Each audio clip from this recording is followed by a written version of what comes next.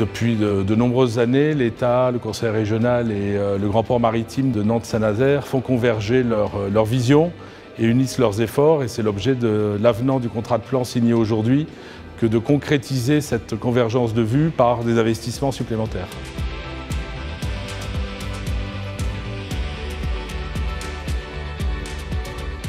Ce projet, notamment euh, du carnet, euh, va permettre à des entreprises de s'installer pour porter des projets euh, de transition écologique, notamment en ce qui concerne les énergies renouvelables. Et puis derrière ce projet, c'est un peu plus de 1000 emplois. Et je pense que dans le contexte actuel, c'est important de se projeter, d'aller vers l'avenir et d'avoir des enjeux pour notre région parce qu'il y a toujours une compétitivité des régions et puis une compétitivité à l'international.